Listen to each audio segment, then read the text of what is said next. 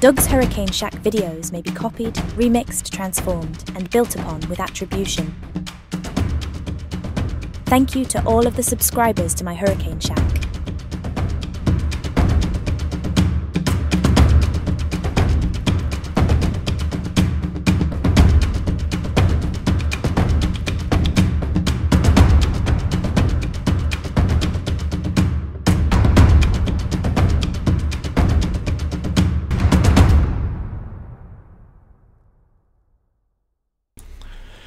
Hurricane Idalia was a powerful category 4 hurricane, and it caused significant damage across parts of the southeast, uh, especially northern Florida.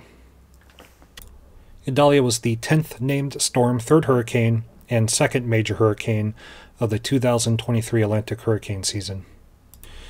Idalia was the first tropical cyclone to make landfall in the United States this year and caused significant damage across the Big Bend region of Florida and southeastern Georgia. Thousands of structures were damaged or destroyed.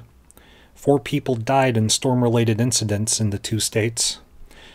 Current early estimates place insured losses between 2 and 5 billion dollars.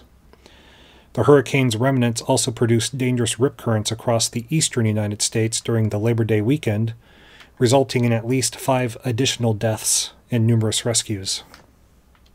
It should be noted that there was a wind increase of 55 miles per hour during the 24 hour period ending at 9 UTC August 30th.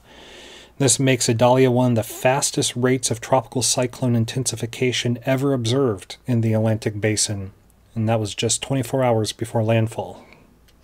That intensification was halted by an eye wall replacement cycle, which caused it to weaken just before landfall.